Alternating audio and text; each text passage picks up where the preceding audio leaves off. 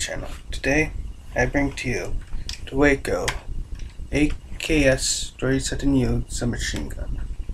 And uh, this gun took approximately uh, five or six hours is it to build. Uh, although, especially with the uh, stock being so difficult to make.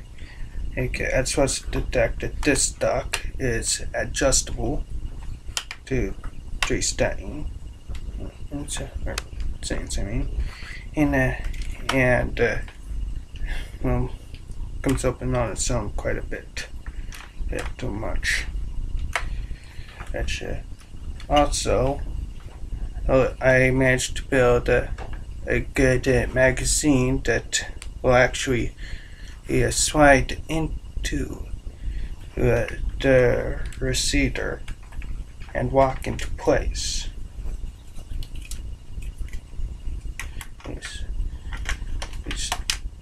Yes, uh, and uh, and uh, unlike my other builds, this one and the Mag Release work store. Well, there's the sights to this thing.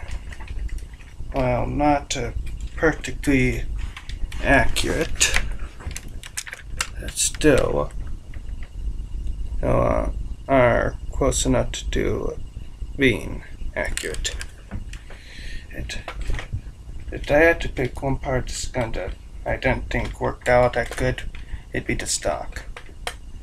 Now, as you can tell, there are no real systems because, well, I'm not exactly sure how to build the real systems for an AK. Yeah, got a working charging handle on this, like all the others. There's a and uh, a barrel that can be switched out. Aside from that and the working trigger, there's nothing else. So, thanks for watching. Have a good day.